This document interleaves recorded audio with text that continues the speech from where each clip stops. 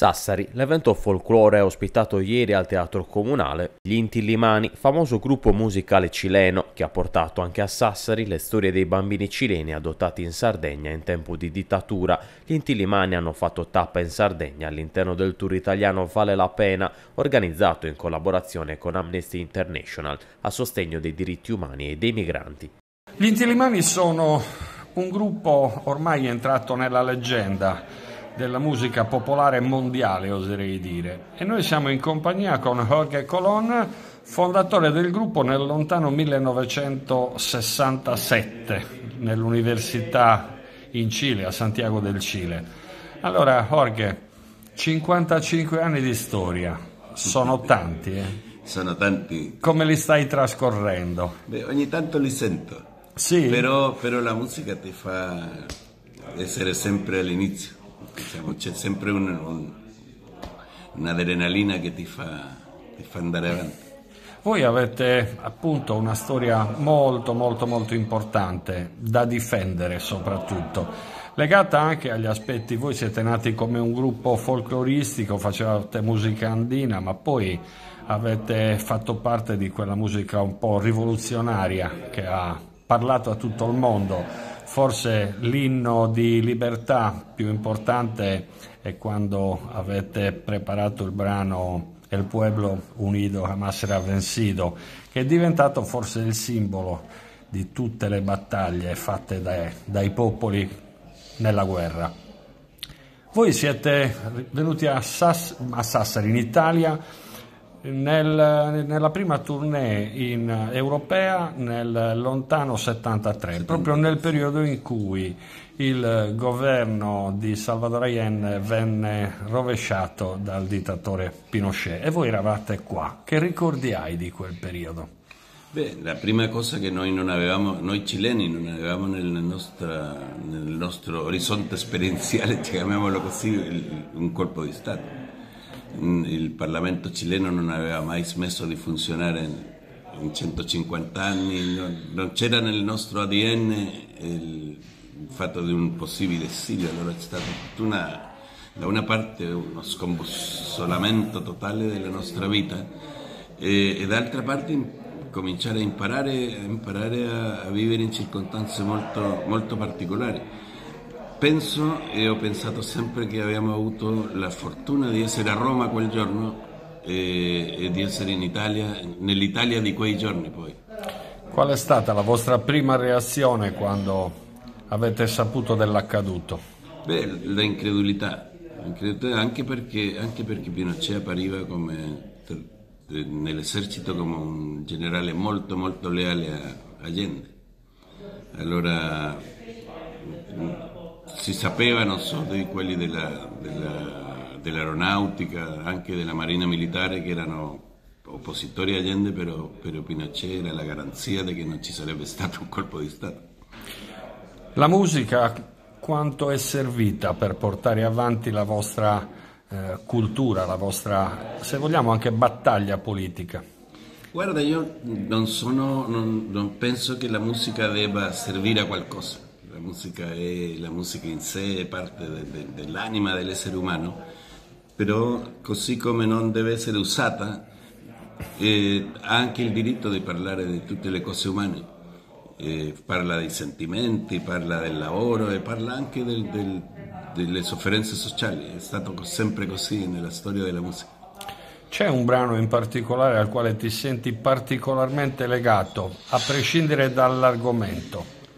Beh, c'è un brano che, che cantiamo da, da, moltissimi anni, forse da 50 anni o più, più quasi dall'inizio del gruppo, che si chiama Juanito Laguna e Remonta un barrilete, che è un pezzo che parla di un bambino che gioca, di un bambino povero in Argentina che gioca con un, come si chiama, con una, con una cometa, con, un, con una stella. Sì, e, e, e fa volare questa, questo barrilete, come lo chiamano in Argentina, e, e questo barrilete è anche il suo modo di guardare il, il mondo, forse un drone, è un drone dell'epoca, guarda, guarda, il paesaggio ma anche fa volare i suoi, i suoi sogni.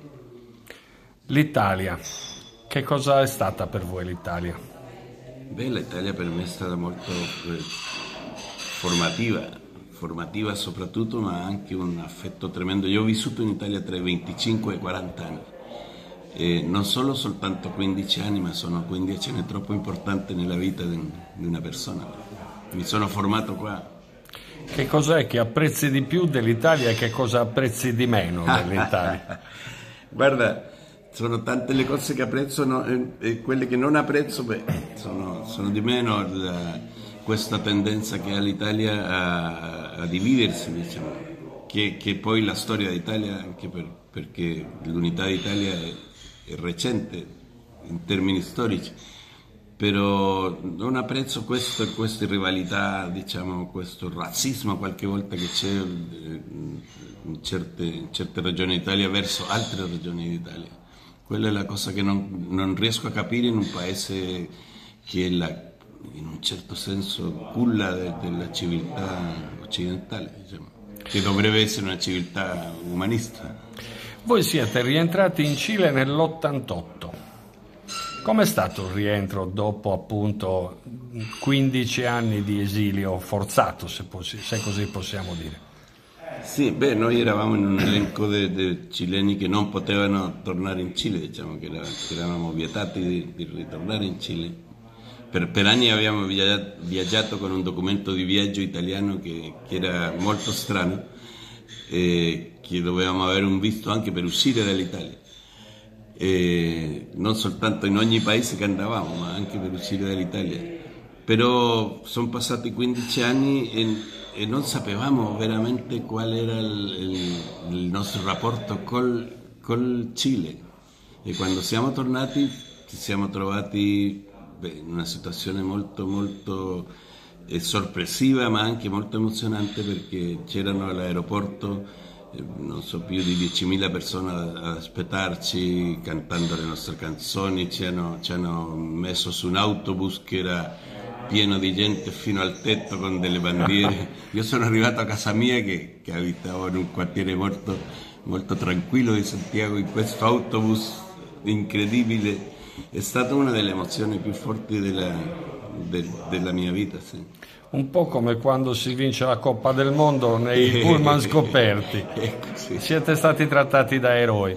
Senti, qualche anno fa siete stati qua in Sardegna per l'ultima volta e oggi siete nuovamente qua per un concerto.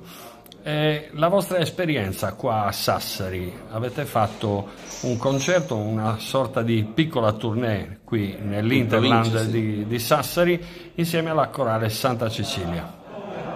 Cosa avete presentato? Beh, si è presentato eh, una, un'opera di un, di un musicista argentino, un pianista argentino che è oggi scomparso, Ariel Ramirez, che era un'opera con due parti, una versione di una messa, una messa argentina, diciamo, una messa, messa criolla. La messa criolla, sì. sì. Sì, E poi un'altra parte che, che, che, ha con, che, ha a che fare col Natale, il Natale tutto in base a, a ritmi popolari dell'Argentina. È un'opera molto molto bella che, hanno inciso diversi, diversi, gruppi, anche Mercedes Sosa e, e anche c'è una versione molto lirica di José Carreras e, e abbiamo fatto insieme alla corale Santa Cecilia questo tour bellissimo nelle chiese di, diverse chiese della provincia di Sassari. E oggi nuovamente a Sassari al Teatro Comunale. Cosa presentate? Guarda, è difficilissimo perché dobbiamo fare 40 minuti e, ridurre in 40 minuti una storia di 55 anni è molto complicato. E quando nel 2008 c'era il centenario di Allende, della nascita di Salvador Allende, abbiamo voluto fare un regalo, diciamo, e abbiamo fatto 100 canzoni per, per, Salvador Allende di fronte al palazzo, al palazzo della Moneda dove lui è stato ucciso. E abbiamo suonato per otto ore e mezza è stato un momento molto, molto speciale, però lo stesso alla fine non è mancato chi ci ha detto, beh, non avete suonato questa canzone e quell'altra. E, è difficilissimo scegliere 40 minuti in queste circostanze, però faremo, faremo delle, delle canzoni che fanno parte della nostra storia comune ma anche canzoni che, per, perché, che sono le canzoni che stiamo a fare oggi perché non, non intendiamo essere un, un gruppo fisso al, al 1973, cioè siamo un gruppo vivo in un paese vivo, in un continente vivo, in permanente evoluzione. Io Jorge ti ringrazio per essere tornato a Sassari, ti ringrazio per la disponibilità che ci hai dato per questa bella chiacchierata, semplice, e vi faccio gli auguri, posso dirvi, per altri 55 anni forse sarà troppo, però ti senti, ti senti ancora, all'inizio hai detto che un po' iniziano, inizi a sentirli questi 55 anni, ma... No, ma io auguro al gruppo che, che abbia altri 100, diciamo. È quello che ci auguriamo anche noi perché avete dato tanto alla musica popolare cilena, ma secondo me avete fatto dei veri e propri capolavori che sono rimasti in tutto il mondo. Quindi grazie ancora e buon proseguimento di carriera. Grazie, gra- e grazie soprattutto anche alla, alla Sardegna, perché fa parte anche della, dei nostri affetti italiani. Grazie a te.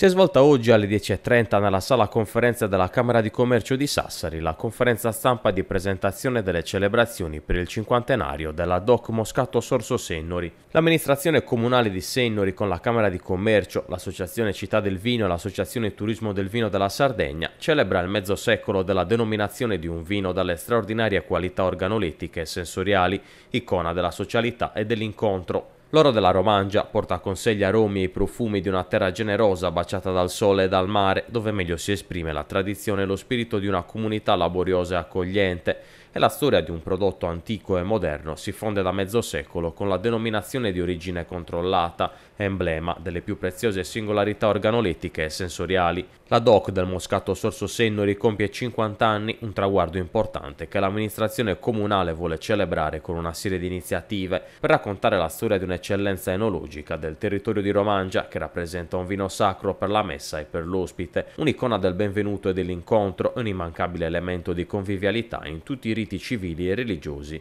Si parte venerdì 1 aprile alle 17 al Centro Culturale Antonio Pazzola di Sennori con il convegno dal titolo Sulle strade del Moscato che oltre ad affrontare le specifiche tematiche di coltivazione e produzione, gli aspetti commerciali e le potenzialità nel panorama nazionale ed internazionale, approfondirà i temi storici attraverso le testimonianze dell'utilizzo del vitigno nelle tradizioni popolari per confluire nell'apporto della confraternita del Moscato Sorso Sennori, un'associazione di appassionati vignaioli e produttori che negli ultimi decenni ha messo in atto una superlativa strategia di rilancio del vitigno e del vino. A porgere i saluti istituzionali saranno il sindaco Nicola Sassula, la vice sindaca Elena Cornalis, il vicepresidente della Camera di Commercio di Sassari Maria Amelia Lai, il presidente dell'Associazione Città del Vino Angelo Radica, il coordinatore regionale Giovanni Antonio Secchi e il presidente regionale Turismo del Vino Sardegna Roberta Porceddu.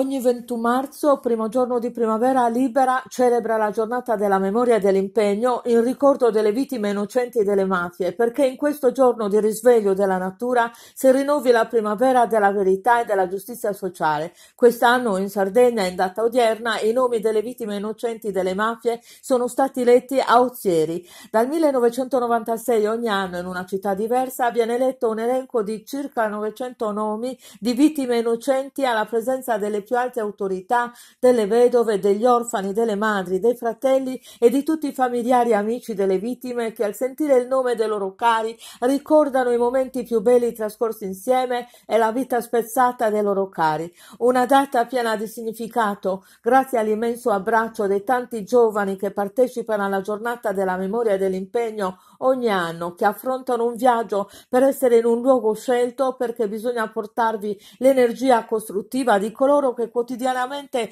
si impegnano nel contrasto alle mafie e per ridare dignità ad una memoria che rischiava di essere perduta per sempre. Il senso della memoria per i rappresentanti di Libera che hanno organizzato tale evento è un vivo impegno di ricostruzione con la possibilità per tutti di conoscere la storia del proprio territorio e le molteplici verità che spesso gli interessi delle mafie hanno contribuito a seppellire. Memoria e ricordo vitale che accompagna le tante attività di Libera, dalle campagne contro la corruzione all'impegno per rendere fruibili della collettività i beni confiscati ai mafiosi. Le persone che hanno perso la vita a causa della violenza mafiosa sono state uccise da altri uomini. Il solo pensarci fa male, viverlo è quasi impossibile da accettare perché tutti, come chi è rimasto, aveva il diritto di vivere e ricordarne la loro esistenza potrebbe rinforzare la forza per andare avanti sperando in un mondo migliore in cui si spera sempre che non succeda più che gli uomini uccidano altri uomini come purtroppo è capitato e ancora succede anche nelle guerre che stanno devastando l'intera umanità.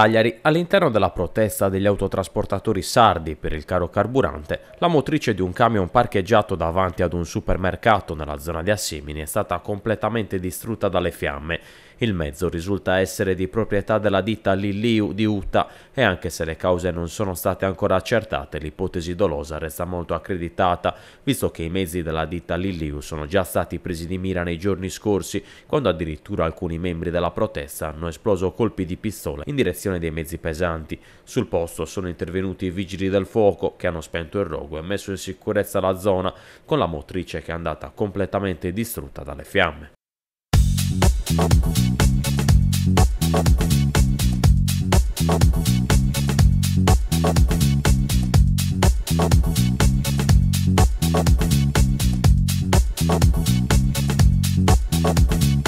Bono, nell'ambito del progetto di diffusione della cultura della legalità, gli studenti del liceo scientifico Segni di Bono hanno fatto visita alla compagnia Carabinieri. Circa 25 alunni della classe seconda hanno vissuto una mattinata scolastica diversa dal solito, al fine di renderli consapevoli del ruolo sociale dei carabinieri quali protettori e promotori dei valori e degli ideali dell'Italia, ispirati alla cultura della legalità. Gli studenti, dopo aver assistito alla proiezione di un breve filmato introduttivo, hanno visitato la centrale operativa, cuore pulsante del coordinamento del pronto intervento 112 nonché il comando stazione carabinieri di Bono.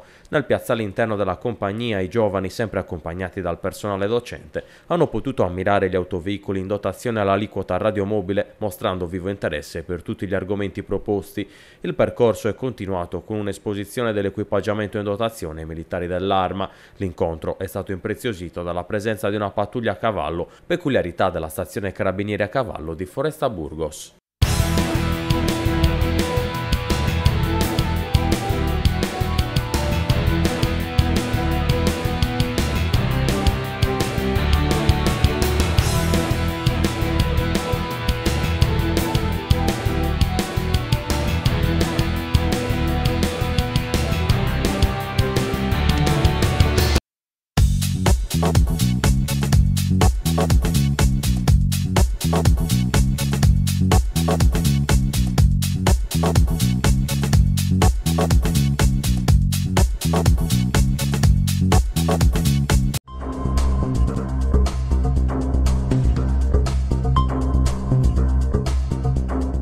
Calcio, prima della pausa prevista per il weekend di sabato 26 e domenica 27, il campionato di terza categoria non ha lesinato emozioni, tutt'altro. Nel girone è inarrestabile il percorso del quartetto di testa, infatti l'Andrea Doria vince 3-2 in casa contro la Santa Lucia Sennori, il Codaruina si impone fuori casa per 4-1 contro i Turitani dell'Ale Castiglia ed infine il Saramonte si impone in casa 3-1 contro gli Ampuriani della Ciaccia, attendendo il posticipo del 26 marzo 2022 tra la squadra sassarese delle Lepili Punti e l'Isola Rossa hanno spaccato in due la classifica, creando un solco importante con le altre società che compongono il girone.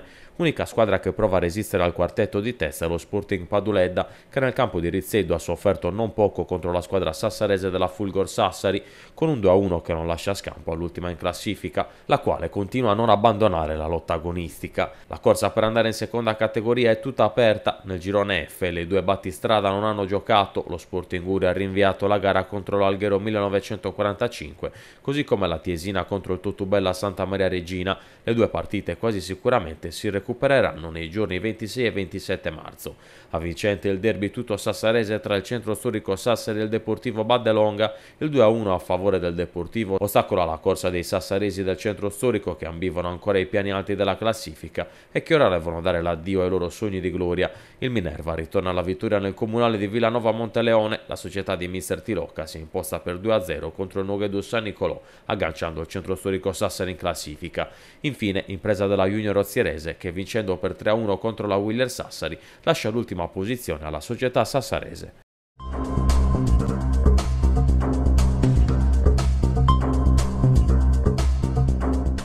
La ragazza del mio cuore sei, sei. ma baciare non ti posso mai, mai. sempre tra la gente te ne stai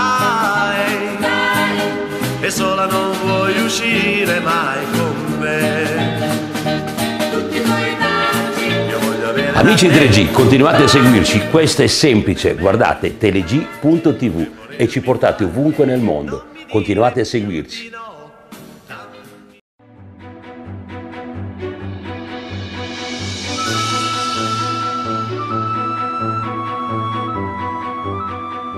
Emergenza Ucraina. L'associazione Croce Medica Sassari raccoglie abbigliamento e coperte, prodotti per l'igiene personale, prodotti per l'infanzia, che serviranno in occasione del viaggio di donne e bambini ucraini che verranno ospitati dal comune di Sassari. L'associazione si occuperà del ritiro a domicilio dei vari prodotti. Per informazioni e ritiro contattare il numero 348 6386 647.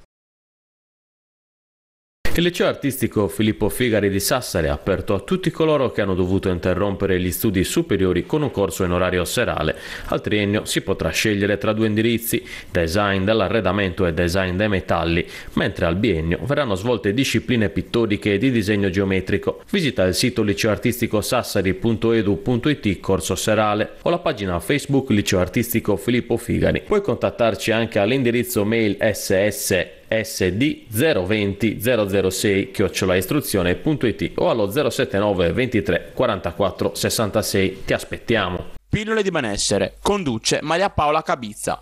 In onda sulla nostra emittente dal lunedì al venerdì alle 16 e alle 18.30, il mercoledì e il venerdì anche in prima serata alle 20.45 e alle 23.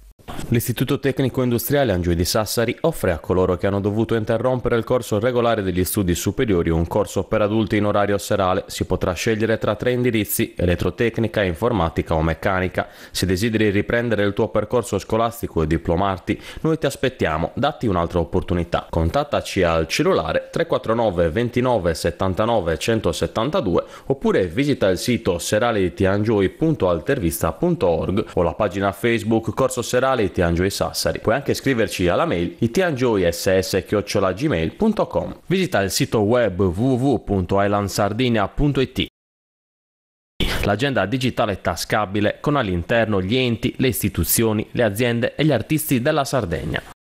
TG, informazione e approfondimento. Orari di messa in onda dalle 13 alle 15.30, dalle 19 alle 20.45, ultima edizione dalle 23.30. Telegi guarda al futuro. La nostra emittente da ora è visibile non solo in tutta la Sardegna, ma in tutti i continenti. Un progetto ambizioso che porterà Sassari, la Sardegna e le sue aziende in tutto il mondo. Per vedere Teleg sul vostro televisore basta avere una smart TV ed una semplicissima connessione internet. Digitare www.teleg.tv ed aggiungere il canale tra i preferiti. Ma non solo La potete già seguire dal PC o più semplicemente dal vostro tablet o addirittura dal telefonino ovunque voi siate. TeleG, la TV in tasca.